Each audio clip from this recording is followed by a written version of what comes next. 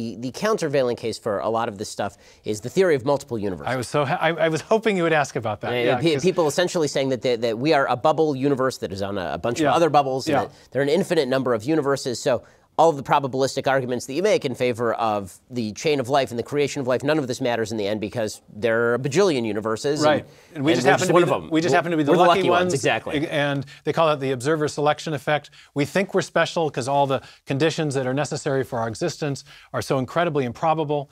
But in fact, some universe somewhere had to arise that produced organisms such as ourselves, conscious, aware, uh, uh, uh, conscious and intelligent agents, indeed. Um, but there's a problem with this whole this whole approach. Uh, many problems, in fact, and you might imagine in this new book that I'm doing, I'm writing quite a lot about the multiverse and critique of it.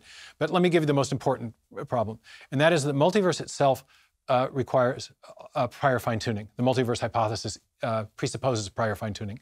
Here's the problem if you have all these different universes out there, a, a gabillion of them, um, if the universes aren't in some way connected, uh, then what happens in one universe has no material effect on events in another universe. So the, the fact that there may be a gabillion other universes out there, if they're disconnected, doesn't change anything in our universe, including the probabilities of our being here. So to solve that problem, and in recognition of that problem, um, proponents of the multiverse have proposed a common cause for all the universes, so that they can pr- so they can portray the multiverse, all these different universes, as the result of something like a big cosmic lottery, where there's some mechanism that's churning out universes, where eventually one of them would have to have the right combination of factors to make life possible. Now, the problem, though, is that in all the universe generating mechanisms that have been proposed, um, there is prior fine tuning. There's something called inflationary cosmology, and another, uh, and, and there's something called the string theoretic landscape. So there's a string theory version of the multiverse, and there's an inflationary cosmology version.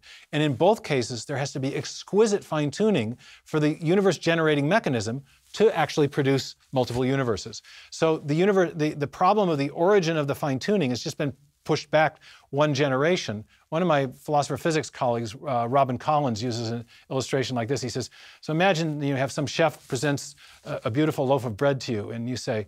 Oh, chef, I'd like to compliment your skill as a chef, but I know you didn't actually design the recipe. It was a bread making machine. There was no design in this, there was just a bread making machine that produced the bread.